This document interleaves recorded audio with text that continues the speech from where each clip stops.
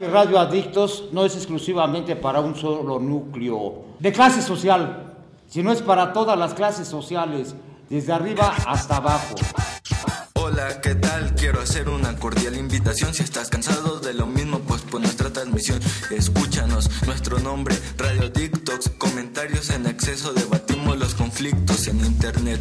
Búscanos en esta dirección, Radio.centro Cultura Digital. Nuestro horario, de 11.30 a 1 de la tarde. Gracias por tu atención, créeme que va a encantarte. No lo olvides, este jueves 25. Y para recordarte los mejores Radio TikToks.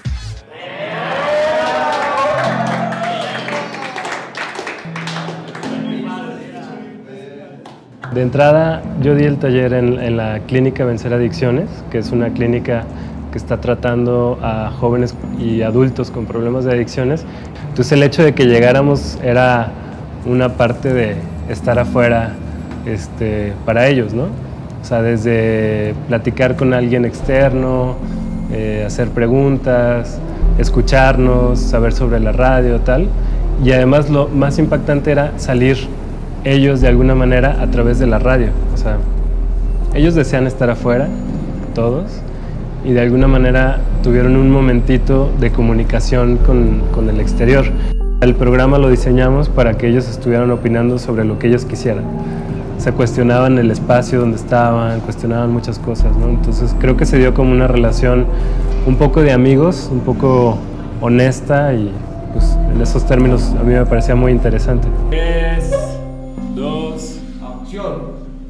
Buenos días, Radio Escuchas. Estamos en la graduación de nuestro taller de radio por internet.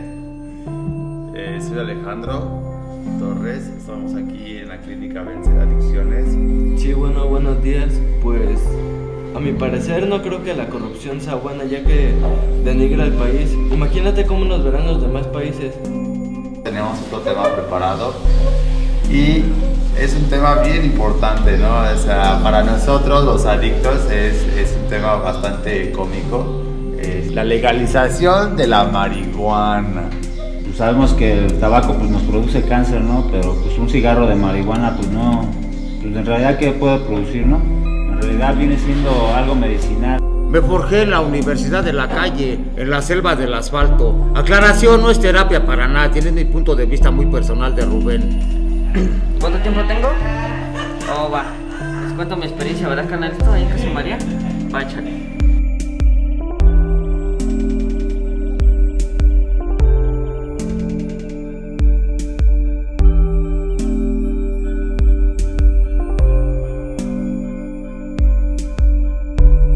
¿Qué es la primera escena, no, Florencia? Ahora que este canal ya bailó, Mira, ya se cayó, no, chale, ahora aquí, ahora aquí. Cuando tengas el recuadro así suavecito, se lo dejas todo. Ahí está. primera. Mariana, salude a la cámara. Hola, salude a la cámara.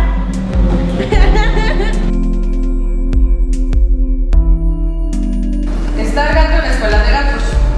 El, el gato se droga dentro de la escuela. Mamá lo.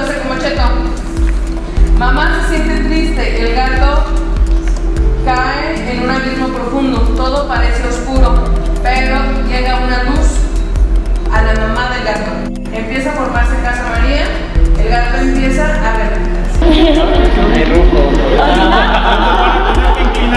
¿Puedes decir qué te llevó a hacer este dibujo? No, pues una experiencia muy grande, ¿no? ¿Sigues haciéndolo todavía? ¿Eh? ¿Sigues haciéndolo todavía? Sí, no, pues este, muchas cosas, ¿no? Todo lo que siento, todo lo que está dentro de mí, todo lo que está dentro de mi cuerpo y de mi mente, pues lo plasmé aquí, ¿no? El corazón está cerrado, tiene un candado porque está cerrado y dentro del corazón siempre tenemos cosas chidas. El pedo es que la mente nos, nos, nos, nos bota.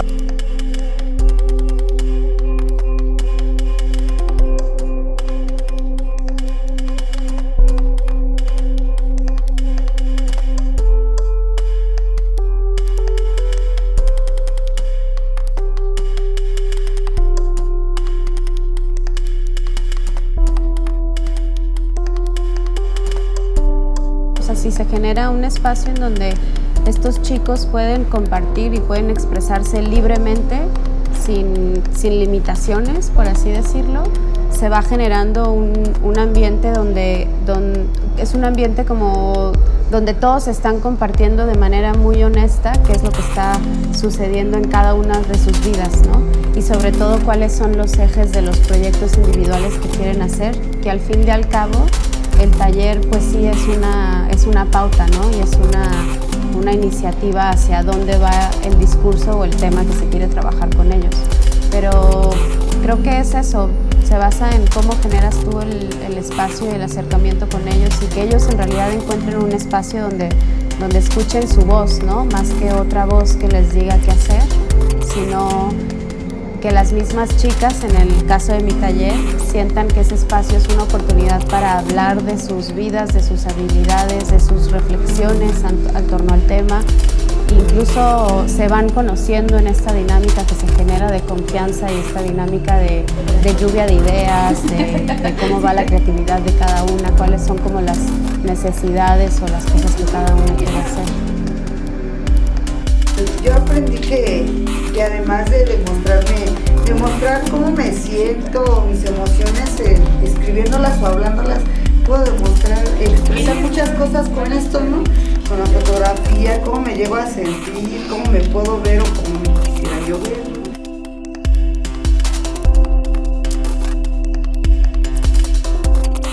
El potencial está ahí, la creatividad está ahí, las historias están ahí y hay muchos que quieren compartir y hay muchos que quieren crear y hay muchos que quieren hacer cosas, pero necesitan una especie como de, de empujoncito o de guía para poder animarse a, a, hacerlo.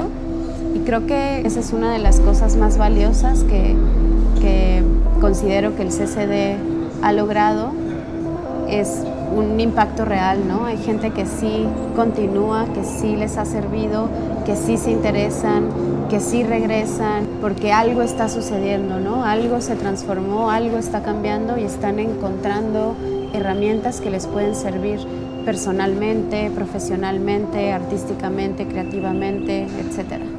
Un saludo a mi familia que está en Tasqueña, ojalá que esté escuchando. Y pues, ¿qué más amigos? Un saludo a San Martín de las Pirámides, a Colman, San Juan de Otihuacán, hermanos. Un saludo a Naucalpan y a todo el mundo y paz mundial. Ya, ya. Un abrazo.